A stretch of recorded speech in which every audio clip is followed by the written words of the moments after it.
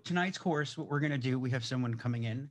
So for tonight's course, we're going to talk about some basic concepts that we all have to understand before we do any SEO. What we're also going to do is we're going to learn really not only how we rank a page, but what the steps are and what goes into that. And certainly we're going to get into that all later in more detail. But for now, we're going to you know go ahead and um, take a look at that. So as always, if you have questions, use the chat widget on the training website or post in the Facebook group. I am usually within a day or two getting the videos from the, the evening from the um, the evening live sessions in there. And what I'm trying to do is give you guys a guideline of where I talk to what, where I talk about what, so you don't have to go back and kind of listen to the whole thing. You can look at what's relevant to you. And if for support, of course, it's you know um, support at shdtraining.com. Okay, so before we go any further, we're going to talk about some definitions. And so phase two, we talked about it last time, phase two. And by the way, if there are questions, you can ask me in chat. I have a separate window open so I can see chat tonight. So, and if they're they fit into the where I'm up to, I'll certainly answer them. If not, we'll answer at the end. So driving traffic, we looked at this whole model last time and we talked about where we are in space. Here's one, phase two, phase three.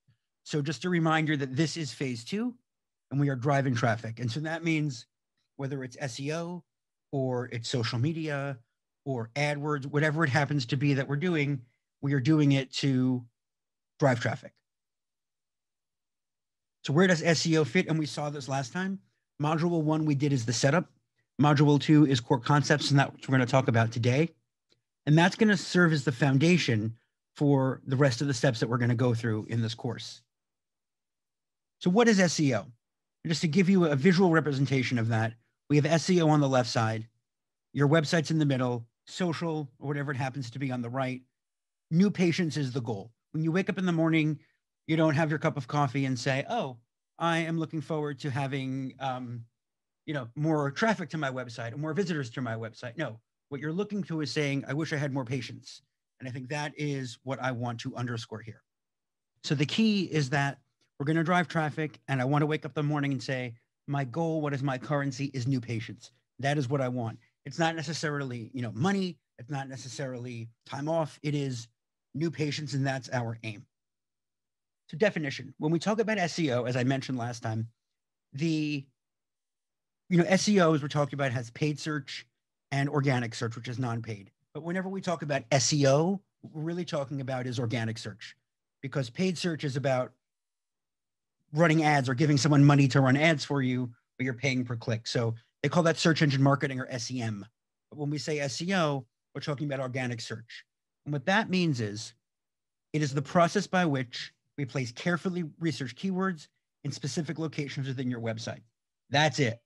So we are we are putting carefully researched keywords in specific areas of your website. That's SEO. That that is all that it is in a nutshell. What is my goal? Goal number one is to drive traffic to your website in order to get new patients. That's the goal of SEO. Now, what's our workflow? And those of you who have done some SEO with me, you know the workflow, you've seen this workflow, but we're going to use specific keywords on specific pages with the goal of appearing higher in search engine rankings for that, you know, for that keyword, for that search, with the goal of driving more traffic to your website, with the goal of generating new patients. So this is why we're doing it. We're going to use keywords because we want to rank higher with an assumption that the higher we rank, the better we'll click, the higher our click rates will be. And then we're going to get new patients because we get people to our website. Obviously, once we have people to our website, that doesn't necessarily mean that we have new patients, but that's the first step. The organic versus paid. Last time I glossed over this when I said to you that paid is here on the left, Google ads, there's Bing ads, uh, but that is now we're really going to get into the nitty gritty moving forward of organic search. Note that Facebook ads, I really don't put Facebook ads under search engine marketing because Facebook ads are targeted. That came up as a question. Search the reason it's called search engine marketing is because when I type in a search keyword into Google, um, used car dealer, you know, Maplewood, New Jersey, what's happening is I'm seeing organic listings that are the ones based on people's websites and I'm also seeing the ads based on the advertisements. Whereas Facebook isn't, isn't necessarily based on what I'm searching for.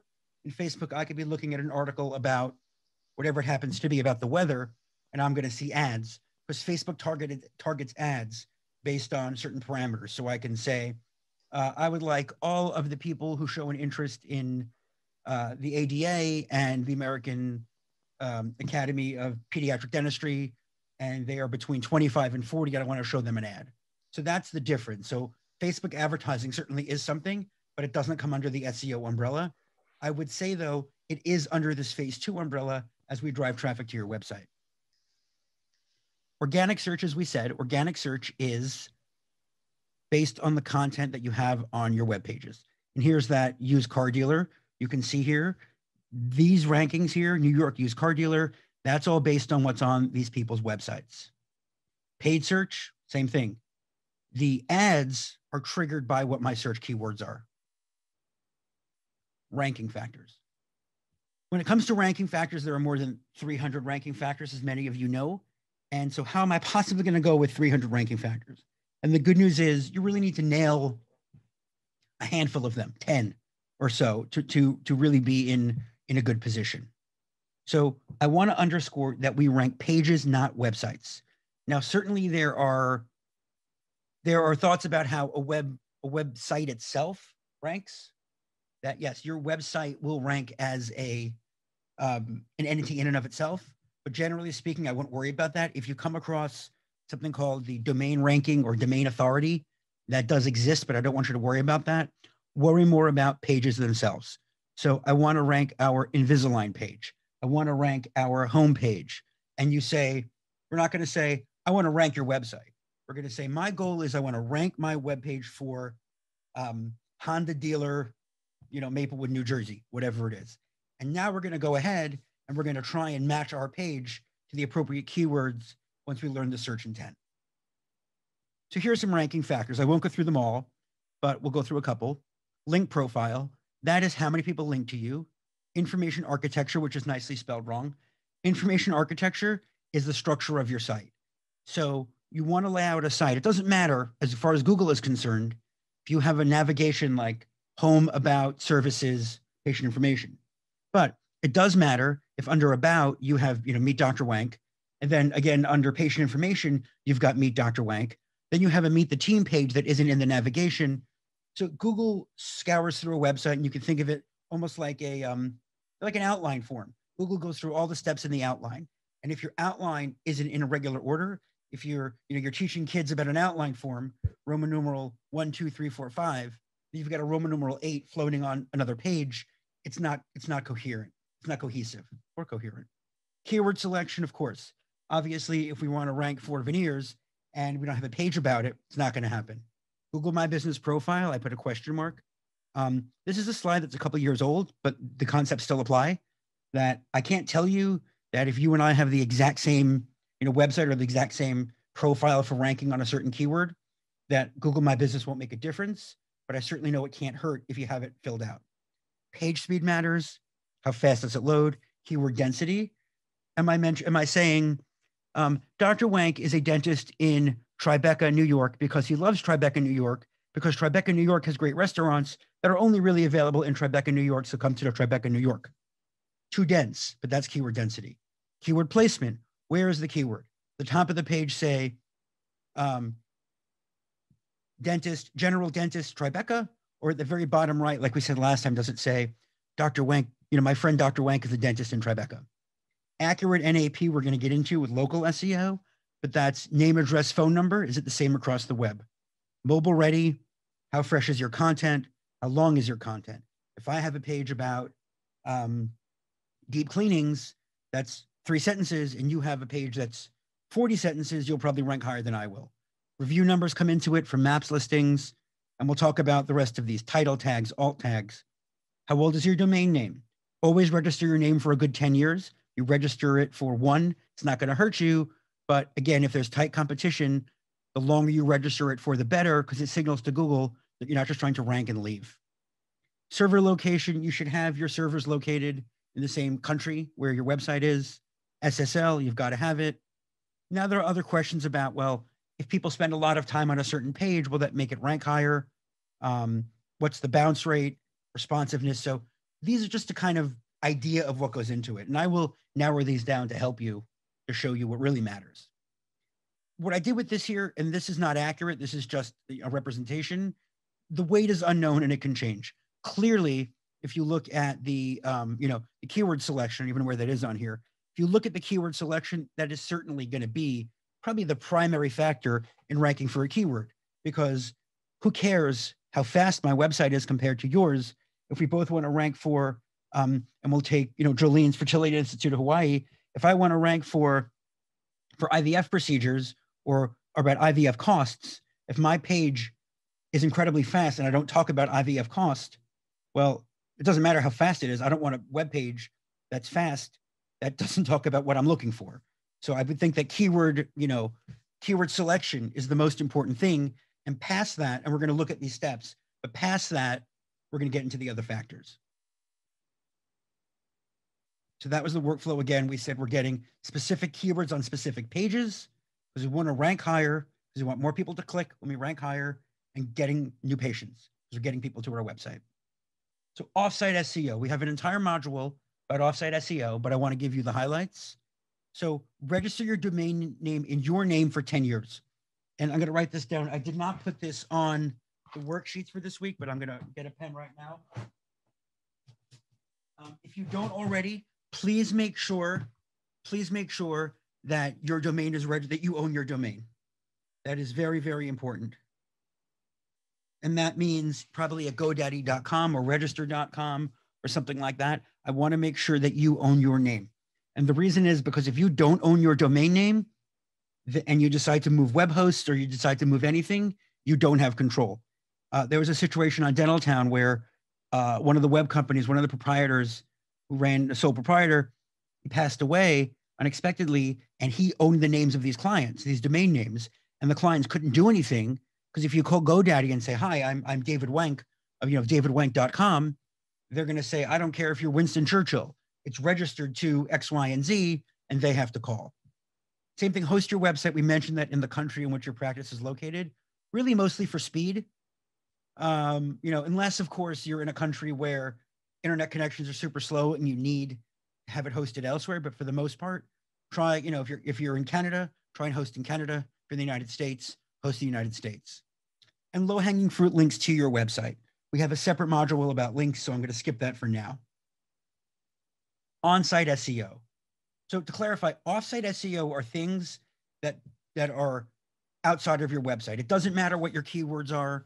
It doesn't matter what your what, what anything is. It's about how the rest of the the the let's say the metadata or the information about your website that is not relevant to or not that is separate from what you type what what it's separate from the content on the pages i'll say that better so it is the external factors for your website and not tied in to the structure of your website the hierarchy of your website or the content of your website now obviously offsite seo these are they are ranking factors as well google's going to say well if we have a website and we want to show some results for um, um, infertility testing, and we've got one website that has great content, it's been around for 10 years, and another website with great content that's been around for 10 minutes, well, you know, I don't want to send someone to a website that might not be there tomorrow.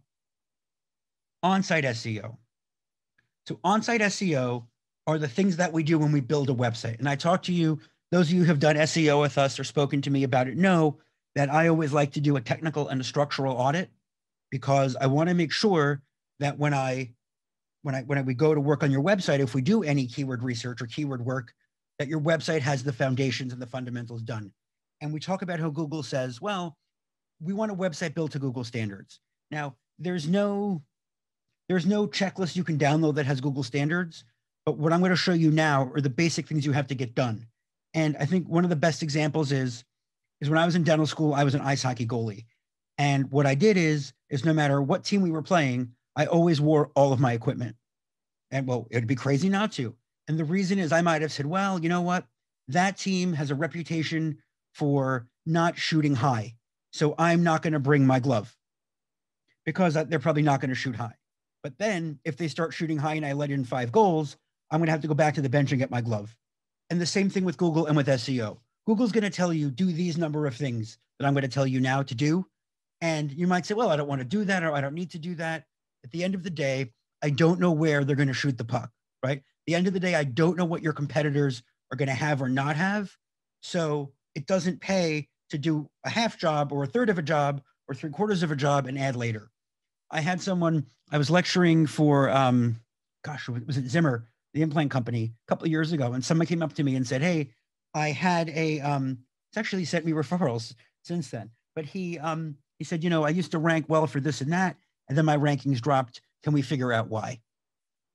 And I said, No. He said, What? I said, Because it doesn't matter why. So even if you know why, it doesn't matter because the treatment's going to be the same. So, in the sense that, and again, it's not just a fixed item. It's one thing if he said to me, Well, I turned off SEO, I turned off SSL and everything dropped. Well, we'll turn it back on.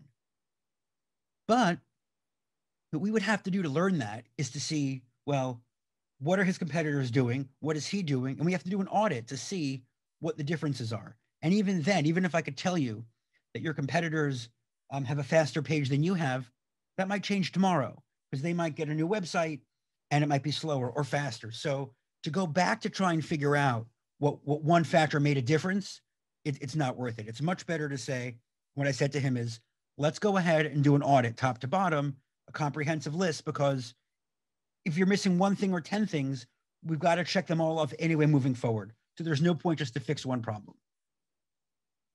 So title tags. So what a title tag is, you're going to see up here where the arrows are, where it says medical website design. That's the title bar of a tab in Firefox. And that's where we see a title tag. And you can see there's a little hover. It says medical website design. The second arrow points to that gray.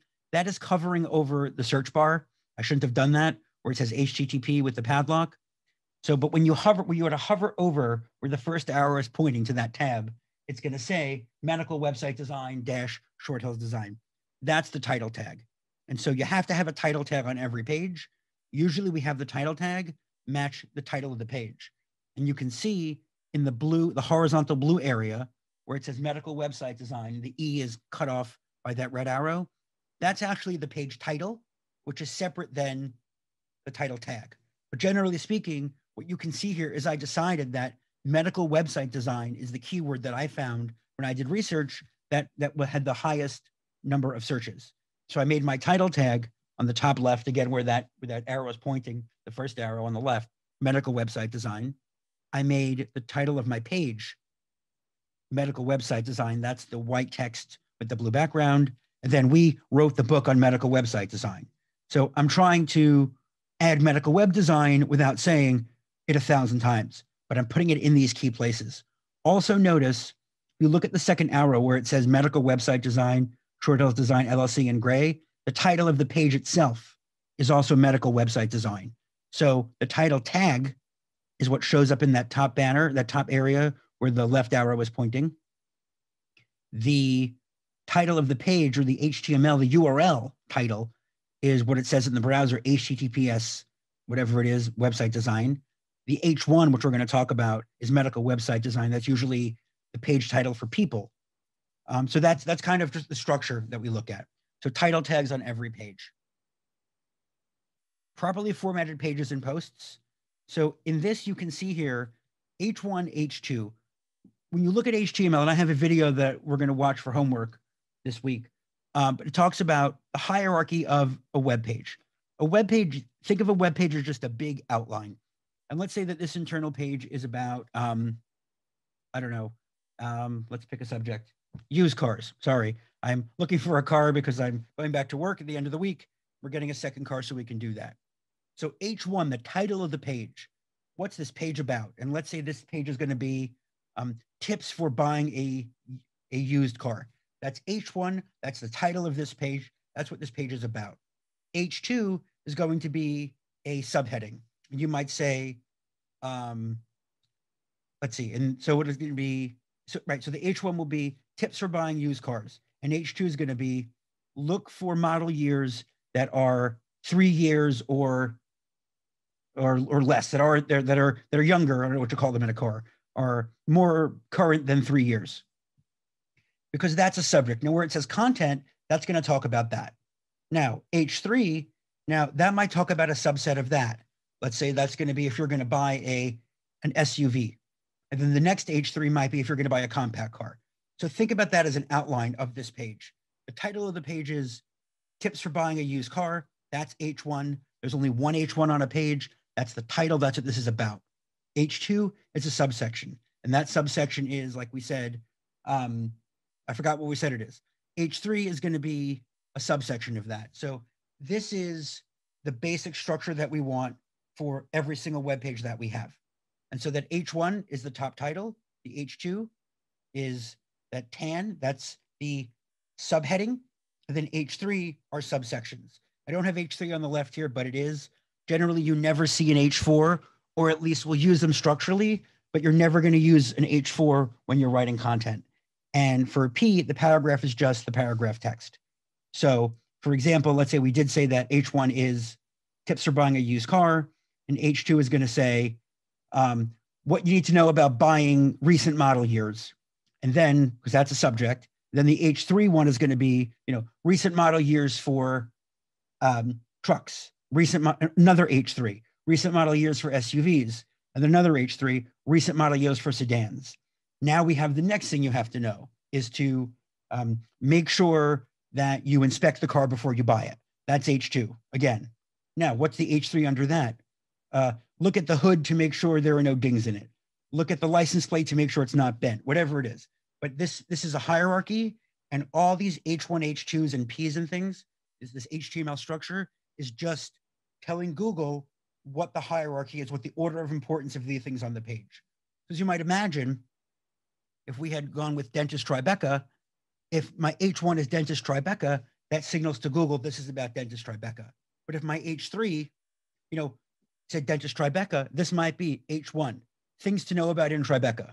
You know, H2, arts and sciences. And then there's some H3s, museum, museum, museum. Then another H2, healthcare and dental. Then H3, Dr. Smith, H3, Dr. Wank. So clearly on a page about Tribeca dentist, having, well, this would be a relevant page because it is, I'm in there, but I'm one of 10 things on this page. So a dedicated page that just says Tribeca dentist would be better. Page speed. You want a page speed of about three and a half seconds or lower. Usually, the ways to fix page speed, and we will get into that another time, have to do with your server configurations and the sizes of your images. But you want your page to load a little, you know, about three and a half seconds. Now, I could make your page load at 0.5, you know, at 0.5 seconds if I turned off all the images and just made it text like we had 20 years ago. But so there are diminishing returns on how fast you want a site to go and what it looks like to your audience, excuse me. So, you know, if you have a website that loads at 10 seconds or nine seconds, it's pretty easy or generally easier to get that down to 654 seconds than it is to take a website that loads at 3.4 seconds and bring it down to 3.2. Because once you start getting faster and faster and faster, it costs more because it takes a heck of a lot more time. And I'm honestly not sure how valuable that is for your money or practically speaking, because you could see a page that loads at six seconds and a competitor that loads at three seconds and the page that loads at six seconds actually loads actually ranks higher than the faster one. So there are other factors involved. If everything else is checked and we find that our page speed is too slow then we could speed it up a bit. But remember this is all about competition. If your page speed is 3.8 and all your competitors are at 9 whether at 4.1 or 3.8 or 3.6 i'm not so worried. If all your competitors are at 2 and I've never seen that for you know dental or medical or any small business website, then we'd have to think about getting it down to two with lots of compromises in the presentation, but that's just not practical. That being said, you know, it's just it's just something to understand. Pass the Google Google's mobile friendly test for responsive design. Uh, just make sure that you pass that mobile friendly test. I have to add that to our um, to the homework. Now, when you do do the mobile friendly test, you are going to see, it might say on the top left, there are page loading issues. Ignore that. Every website has page loading issues. No website ever gets an A in that area. So don't worry about that. Just make sure it says pass. Verify Google My Business. We talked about that last time. Now, page text. You want your page text to be between 200, 250, 350 words. I put a star because there are people who will tell you you want a thousand words or 1500 words. And the truth is, write what's relevant. Write 250 words at a minimum, maybe 300. For content dentist, I think our content has between you know, something like 250 or three, 325 per, per con- piece of content. Um, I just wrote content for a um, an insurance company. I think I gave them 600 words, but that's long. And remember, if someone's reading a web page, it's 600 words is a lot to read. Remember, 250 is is a single page, so you know, print page. So it's really really long. Now, what I would say, and we're going to look at this later on, is that if you've written a page that's 300 and 325 words, and then you want to rank that page for a particular keyword, and you're not, then we can look at your competitors and see, well, what are your competitors doing? If your competitors have a thousand words, then we'll aim for a thousand words. But I don't want you to start out writing pages that are a thousand words each, because generally speaking, it's not going to matter. And we're also not going to want to rank every single page. You don't need to, now certainly, yes, I want every page to rank first. But for Short Hills Design, I don't necessarily need all of my internal pages to rank first for everything. There are certain pages that I have that I really want to rank highly in search engines. But, you know, as a dentist, I don't need to rank my hygiene page or my, you know, scaling page unless some, you know, now for the gum grafts page, maybe it depends if you do a ton of that. So write 250 to 300 words a page in that vicinity and then if we need to later on because of competition, we'll expand that. Use alt tags for all images. We're gonna we're gonna learn about that during our audit, what an alt tag is. But if we look back here, where it says image with that X, that's that's an image placeholder. An alt tag describes images, and we used to use them. Well, the, the reason that we use them in the past is because 15 years ago, before broadband, people were not able to load all the images, and if they were on one of their pre-smartphone phones or on a slow connection, you remember if you're old enough like I am to see part of the page load, part of the image load in chunks. And so we had alt tags. And what, what would happen is you would describe the image and say, this is an image, this is a map of, you know, Tribeca, New York. And then the rest of the page would load. And then while then that image loaded, you would at least see what it was an image of. You didn't have to sit there. And that's why we talked about don't put anything that's important, like a phone number, in as an image because you can't click an image. Google knows that an image is an image, but it doesn't know what the image is. So I can put an image of a the famous one that I use. I use a dog uh, wearing a, a, a Westie wearing denim, and I say, "What is this an image of?" And the audience says, "Oh, it's a Westie." Yes, it's an image of a Westie wearing denim. Yes, it's an image of a Westie with sunglasses. Yes, and all of those are correct. So it could be just someone who's you know loves their Westie. It could be a sunglass dealer that says our sunglasses are so cool that Westies wear them, or denim. So your alt tag it could be sunglasses so great that even the dogs love them, or something like that. So Google doesn't know what your intent is from that image, and that's what alt tags do. And again, implement a well-researched focused keyword for the page. Your hygiene page doesn't need it. Your meet the team doesn't need it your return policy page if you're a small business probably doesn't need it. You know things like that. Terms of service doesn't need it.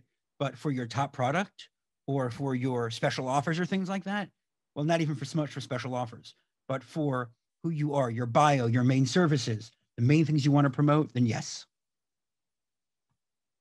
Competition. So let's say we have your website and it's floating around and you have no competitors. So at that point it really doesn't matter you can think of Google as a very big filing cabinet.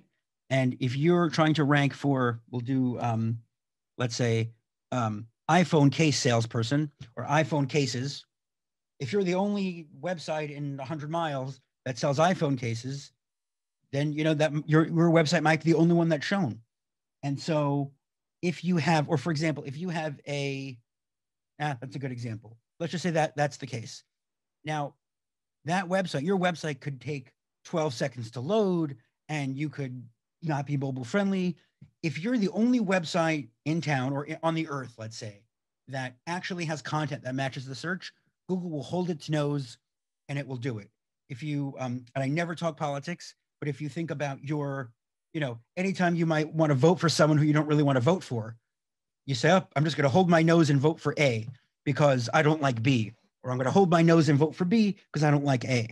Google will go ahead and say, listen, I don't like this website. It doesn't meet our standards. So we're just going to hold our nose and we're going to show it to the user because it is the only website that does match what that person's searching for. more often than not, you're going to have competition. And so if there's three of you, you and two others, well, you know, there's 10 spots on the homepage. So I'm not so worried about that. What happens is, what, happens when you're in this situation where there's a ton of you? What is this, three, five? You know, when there's a ton of competition for that same keyword, that's when it matters. So you look at all these things coming down from Google and, you know, the algorithm stuff that we talked about that I told you not to worry about. If you look at this, you're really competing against what are your competitors doing? I know, like I tell my kids, it's not a competition, do the best you can. In this case, it is a competition. And we're going to base, we're going to go ahead with our baseline and lay out the best baseline we can. But once we start getting into trying to tweak our websites for keywords and for rankings, we are going to look at our competition. So how do we do it? So what is the sequential process that we use to rank a web page for a specific topic? And this is what one client of mine famously called the marketing arms race. And he said that it's a race to the bottom. And in some ways, I agree with that. So let's go over this. Let's say we have an Invisalign page. We want to rank it in search engines. What are our steps? Step one, I want you to have an Invisalign page when your competitors don't have an Invisalign page, or excuse me, I want you to have an Invisalign page and I want it to be built to Google standards. That is what you need to have. And if your competitors don't have an Invisalign page and you do, you know, you win. Two, the next step would be optimize your Invisalign page with the most frequently searched keywords.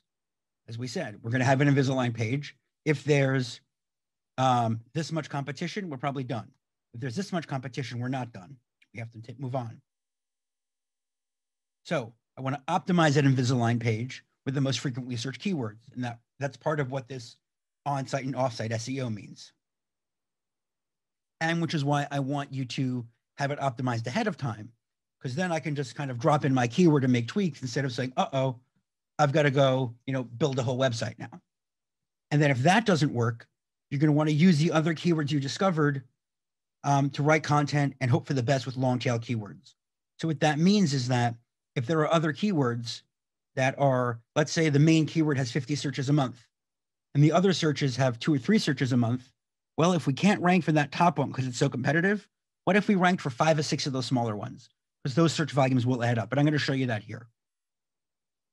So number one, have an Invisalign web page. Um, when your competitors don't have a web page or have a website, you win. Obviously, you want to build to Google standards. And those are our on-site and off-site SEO slides. And so Number one, let's assume we have a web page about Invisalign and we want to rank it. So obviously, if you don't have a page about Invisalign, you're invisible for the searches. You're not in the conversation. I was talking to a client of mine in New York City, and we talked about how competitive it is for you know whatever whatever the service was. And I said, listen, you might have 40 competitors on the same block, but if all of them are trying to rank for that same keyword, I would rather if we don't have a page about that keyword, then you're not even in the conversation. I'd rather you be one of 40 than not not even in the conversation. Because if you're not in not one of those 40 or 41, whatever, you know, adding him, then you're you're you're completely you've completely lost. So at least if we get in that mix as a minimum, that we can even be in the conversation. And if you look here, I say, you know, if there's one page on the subject, it's very easy to rank. And I put Montana because it's not that populated. But if you look at California, if there's 20 competitors who each have a page about Invisalign, it's very, very difficult to rank. And so if you were to look at this example of a search engine, I guess I did note it, note one, two, three, but let's pretend this is a page one and page two.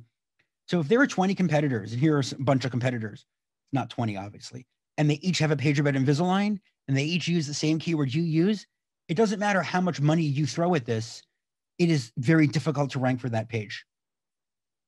And so now that we've done that, though, now that there's 40 of us and we all have the same Invisalign keyword, how does Google differentiate among us? Who's first and who's 15th? We're going to talk about that now. So let's say now here we are. We made an Invisalign page and we rank 14th out of 20 for the pages about Invisalign for whatever keyword it is, and we want to get higher. So let's do this. So we have an Invisalign page. Let's check that off. Number two, now we're going to optimize our Invisalign page with the most frequently searched keywords. Let's take a look at that. And when we do this, I think I forget what number that is in the step. When we do keyword research, we're going to get into this. And so, first thing we're going to do is we're going to research the most frequently searched keywords. Then we're going to incorporate them with the principles of on page SEO that I just talked about. So now, let's say we're in Maplewood, New Jersey, where I live, and I'm going to make an educated guess and say Maplewood Invisalign. I have gotten phone calls that say, you know, David, oh my goodness, I did a key, I, I did a search for, you know, Maplewood Invisalign and I don't rank. Oh my God, what am I going to do? And I'd say, do you know if anybody's searching for Maplewood Invisalign? No. So what do you, you know, so before we start worrying that we don't rank, let's actually see if there's any search volume for it. And so here, let's just say we did some research, which I will show you how to do um, in a later module that let's research it. And we can see here, Invisalign Dentist Maplewood has 50 searches, Invisalign Cost Maplewood has five, and two and zero, as you can see. And so what do you know? My educated guess keyword Maplewood Invisalign isn't on the list. And you know, I mean, I want I want to do that as a point because as intelligent as we all are, and as smart as we think that you know we it's our business, so we know better than the average person what they're searching for. A lot of times we'll do keyword research and we're going to be wrong. So, and what's annoying and frustrating but true is that Invisalign Dentist Maplewood and Dentist Invisalign Maplewood are different keywords. You're going to say why? And Google has said it matters about search intent. So I would think the search intent of Invisalign Dentist Maplewood and Dentist Invisalign Maplewood are the exactly the same thing. It'd be hard to argue against that. But Google says they're different, which is ridiculous. That being said, when we you know do SEO, there are ways that we try and nail both of them. But if we have an Invisalign Dentist Maplewood keyword, um, that's probably going to be about my you know Maplewood Invisalign Dentist page. We're not going to make two separate pages for that. It doesn't make sense. But we'll, we'll get into that when we do content. But Suffice it to say that here what the searches look like. And so it doesn't matter if we don't rank for Maplewood Invisalign because no one's searching for it. Okay. So now we've researched the most frequently searched keywords. And we know from our search that Invisalign Dentist Maplewood has the most, most local searches monthly. So that's the one that we want to optimize for. So the keyword we're going to target is Invisalign Dentist Maplewood because it has the highest search volume. So let us now go ahead in that step two. We're going to optimize our Invisalign page to incorporate this keyword. So we've done that, right? We have an Invisalign page. We've optimized the page because we've researched, we found the most, the keyword with the most search volume, and we incorporated it. So now what? So what happens if everyone else has done the same thing? Uh-oh. so now what do we do? So here are the same things that everybody, all of our competitors, I think we said we're, you know, there are 20 competitors and we're 14. So everyone has done the same thing we've done. They've all optimized for Invisalign Dentist Maplewood. What can we do? Well, two things. The first thing I would do here realistically, and I will teach you this later on, is we're going to look at some tools online and I'm going to see, you know, I forget, was it the Wizard of Oz? What have they got that we don't got? And that's where I talked about page, you know, the page length, the, excuse me, the, um, the number of words on the page. If we rank 14th and we do a look and I'm going to say, okay, let's take a look at number one to 13 and, and see what have they got that we don't got and we might say, oh, you know, those pages average 800 words of content for on these pages where they're optimizing for Invisalign Dentist Maplewood. So I'm going to go ahead now, you know, and have 820 words, and let's see if that makes a difference. You know, and say, yes, I've done everything. Oh, you know what? It turns out this page doesn't have an image on it. Great. Let me add an image and let me add an alt tag because it looks like everyone else does. Should I have a video on every single page? No. But if I do, if for this specific page, I see, wow, you know what? All the people who rank in the top five all have videos. Yeah, then I'll make a video. So that's why I want to establish you doing the absolute baseline that you need for search engines to be in the competition, to be in the conversation.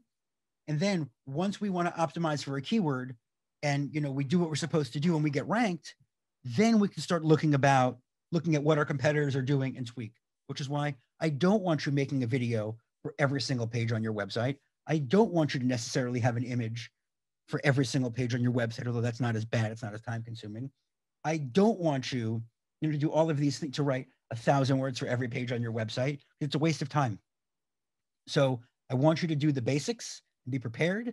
And then when we come into specific focused areas where we have to do better and we have to rank, you know, rank highly, then we're going to go ahead and kind of go to the second step. So what happens if we've done that? We've done everything and we meet all the averages of our competition, and now we rank ninth. Well, the truth is, unfortunately, there's not really more much that we can do other than get links. And we're going to talk about that uh, in a later lesson about links. But now, what's another thing we could do, another alternative? Well, if you look on our list, you're going to see that I had a few more keywords in there that I glossed over at that point. And so these are what's called the long tail keywords. So what I'm going to do is, if I can, or even if I'm in the running for Dentist Maplewood, let's say I rank eighth or ninth or even 11th, because you know we we just can't move further because there's 50 competitors. We can do is make a page about Invisalign Cost Maplewood, Invisalign Teen Maplewood, and um, and I'm going to make those pages because there are searches. You know, Invisalign discount plan, no one's searching, so I'm not going to do it. Now that doesn't mean I might not say, you know what, I think it's a great new idea, so I will make a page that's about Invisalign discount plan, but I'm not going to make that page just to target searches because no one's searching for that. So a page about Invisalign cost and a page about Invisalign teen, uh, there are fewer searches, but I bet you the competition is less. And so I mean, we hope it is. And so at that point, maybe if we can rank, you know, first or second for Invisalign cost Maplewood and Invisalign teen Maplewood, that's seven searches that we wouldn't have had before. So if we can get four out of seven of those searches, if there's, you know, five, six, seven, eight long tail keywords like this that have lower search volumes, usually you're going to see it in, um, you know, when we look at the ranking software, you're going to see it's like 10, 10, 20, 30, you know, 50, 90, you know, like that. But let's just say these each had, you know, 10 searches a month or fewer.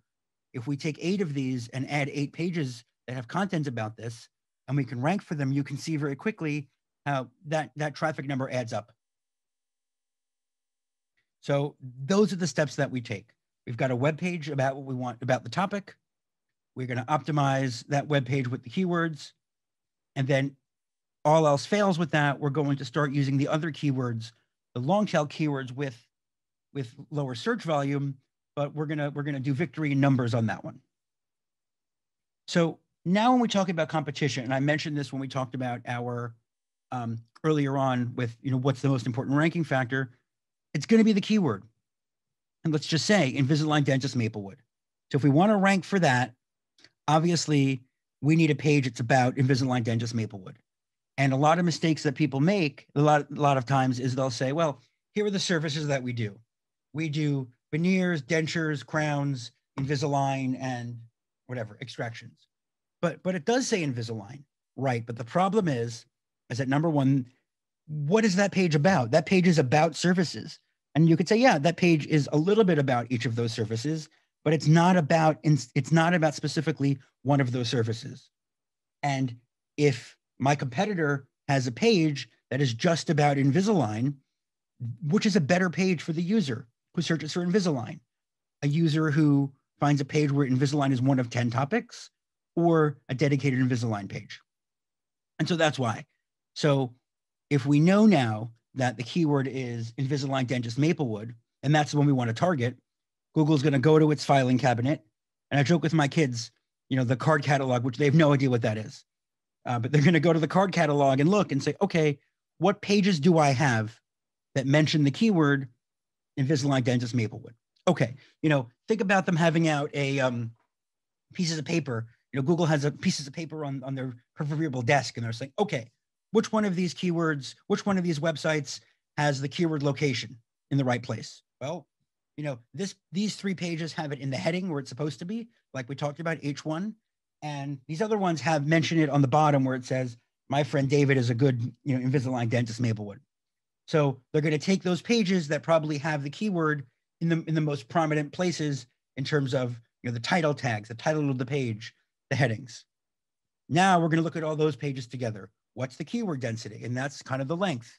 If I just have a page that says Invisalign dentist Maplewood, Dr. Wank is an Invisalign dentist Maplewood, that's not as good a page as someone's Invisalign page that is three or four paragraphs that really talks about Invisalign. So the length of the content, the density, are there images, what's the page speed? So obviously, if your website that says services and lists 10 services and it loads in three seconds, what about my page that loads in six seconds, but really nails it for the keyword, you know, Invisalign Dentist Maplewood and has, you know, has all the other boxes checked. So yours mentions Invisalign and it checks all the boxes. Mine is specifically about Invisalign Dentist Maplewood, and I only check the Invisalign the keyword boxes. but the content's decent. So that's where you're saying just, well, I, I don't know the answer to that question.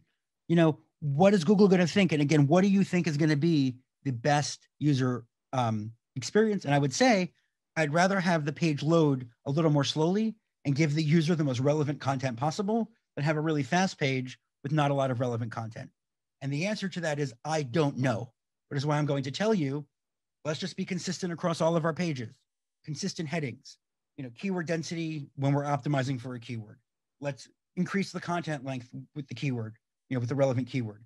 And let's just kind of have a good page speed in general. So that's why I don't want to work backwards. I want to put a, a you know, the best foot forward first and then tweak specifically as we need to later. So our mastery assignments for this module, and then we'll open to questions. What I want you to do is I want you to download a free program called Screaming Frog. It is, um, you don't need the professional version. I think the free version limits you to 50. It's a web crawler, and we're going to use it later on to learn about our web pages. So we don't have to look it up by hand. And so I do, even if you want to, don't buy the pro version now because it's a yearly license. So I'd rather you wait till we get to it if you want to buy it. It's something like 150, 175 dollars a year. I mean, I use it, but I think for for right now, the the basic version is okay, but it will let you see which of our, our images don't have alt tags. What are the sizes of our images? What are things like that? And I'll teach you when we do our audit how to use it. But I want you to download this now so that we have it when we need it for the audit. And again, do not, you can use the free version. It's totally fine. And along the lines of audits, what I will tell you in advance is that when I do SEO, I do a, I do do an automatic audit and I do a manual audit. And the reason is, is because there are certain things that I need, you know, a human brain for to look at that a computer just can't tell me. But there is nothing wrong with doing things that are automated. For example, if you want to look to see to make sure that all of the images on a website have alt tags, which is not a bad idea, um, there's really nothing, there's nothing terrible about me having a program check that for me because that doesn't require my brain power. Because all I'd be doing is going to every single page on the website, looking at the view source and looking if there's a title tag.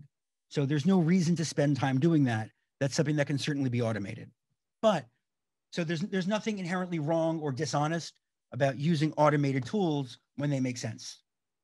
Um, when I what I don't like automated tools for is when, for example, you'll go to um, I forget what it is, one of these services that lets you, you know, for me, I get you know solicitations from companies that say, hey, you know, find a website, put it in this tool, see how badly it ranks for everything. We're gonna, you know, we're gonna make it terrible, and then you can send that to somebody and say, look how terrible your website is.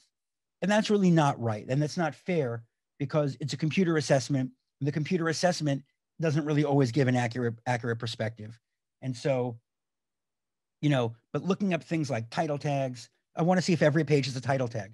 Do I want to open every single page on a 100 page website? No. I'd rather have a computer look for me than I can look myself and look at the results and, and make a decision. So don't feel like you're cheating or that something is wrong if you're using a tool like this. Um, I, I would not, and we are not going to rely only on this tool. There are other tools we're going to use next week that we're going to talk about how to, how to do this, but I don't want you to, you know, think this is somehow, you know, not above board. So what I want you to do this week, number one is I want you to download and install Screaming Frog SEO Spider uh, there's the URL. You can just search for Screaming Frog. It is for Mac or for PC. Now, this is a program that runs on your local computer. This is not a program that runs on the internet. It came up during the um, during the office hours that you know Google Analytics, Google Search Console, these things live on the internet. So it doesn't matter if you are in your office, in your home, or in the air using Wi-Fi on a plane, that you can still get to them because Google lives in the cloud. But this program, Screaming Frog, it's like Word or you know QuickBooks or something like that. It lives on your computer. I also want you to fill in the chart below to start you to get the idea of keywords and when we'd use them. So let's just say for me, let's say as as as Short Hills Design, what, what are the most important things to me? I would say building websites, um, selling my SEO services, and selling my content writing services. So I would tell you my website landing page would be you know, websites for dentists. I'd have to look up what the URL is. The other one would be expert dental or expert content writing. The other one would be SEO for dentists. And you might have four or five or six. You can make this longer, but but I like to focus on three in the beginning when we're learning, and then brainstorm a keyword for each that I think might matter. So for my, you know, dental website design, I might say websites for dentists.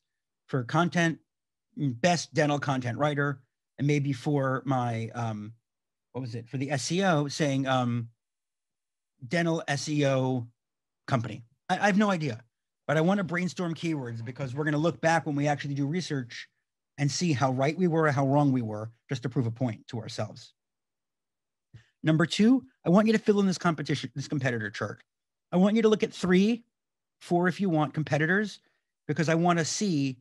Um, I want I want you to start having a picture now of what your competitors are doing. And so what I want you to do is you can either you might know just from being in your office that hmm, this this one or two offices are our competitors. And so write them down. If they don't have a website, you could put a dash for website and smile because then they're not really a competitor, at least for what we're doing. But I want you to write down the name of the practice, doesn't have to be official. You know, John Smith, the website is whatever it is. Then HML. You don't know how to do an audit yet to compare websites to your website structurally. But what I want you to look at that, I want you to look at that website for, you know, 30 seconds. I don't want just doing a 10 minute audit. Look for it, look at it for 30, 20, 30 seconds. Might be all you need, or a minute, and put H, M, or L, high, medium, low. What do you think your their competition is. And then I, I want to comment of why. If, if you see something that's low competition, you might want to say, because this website is ugly and there's one page and it looks like it's from, you know, um, from the dark ages. Or you might say, wow, it's high. They have a service page, they have a page for every single service and it's beautiful and it loads slowly. All I want to do is, you know, one sentence or two sentences. This is quick. Like, what can you see in 30 seconds to a minute? You know, what's your impression? And this, and I just want to get an idea because I want you to start having an idea of what we're up against. And you're going to find if you have not so many competitors, you might find ranking for these keywords to be a heck of a lot easier. But I just want to sort of get a start there. And then I also want you to watch the video that I uploaded to the training. It's SEO for blog posts. We're going to look at this again when we get to, to writing content. But when it comes to what I talked about, about H1, H2, H3, um, you can take a blog post that you write and then you can take 10 minutes and turn it into a blog post that's ready for SEO. So watch this video. It's on the training site. I'm going to upload tomorrow this this course. It's on the training site. It'll be there. But between now and then, if you're writing any content, you are going to be able to use this video as a guide on how to work with those title tags. We will specifically do it with Yoast, which is a plugin for WordPress when we, when we get to content on really how to do it, how to actually say, let's number one, let us structure this page for SEO based on this keyword. And then let's actually go through it to talk about all of those things about the keyword density, about the title, all these checklists to make sure we've done a good job for the page. So that concludes tonight's lesson. Um, what I do want to mention is that when it comes to our training, let me turn my video on here. Okay, so when it comes to um, when it comes to the training and the um, the meetings that we have, the the live training, it doesn't have to be limited to questions you have from this week. You might breeze through this week's homework and say, okay, that's easy, I'm done. But if you're still going back to last week, then certainly any questions you have are fine. Um, I'm sorry about the glare on that light. But what I'd also like to do is please, please, please, if you haven't already, please try and fill out those things from last week because I promise you, the, the, I can't tell you how valuable those are and having those are going to be, especially as we move later on and you understand really where to put money and where not to put money. So that is that. Um, next week is going to be so we're going to have office hours on Wednesday. We're going to have two sets of them, like before, and then next week we're also going to have two sets of office hours, and after that we're going to do the audit. And the audit, what I might have to do because that's going to be that's our the hardest thing. So what, what we might have to do is do, you know, do Monday with a lecture and then office hours, and the next Monday with a lecture and office hours, depending upon how we do. So I am going to stop my video and I'm going to open for questions. If I can find the stop video button that we don't need. Let me just do like this. Let me stop video and let me take a look at the participants. Okay, does anybody, you're all on mute, but you can certainly unmute yourselves. Um, I can stick around for a few minutes if anybody has any questions.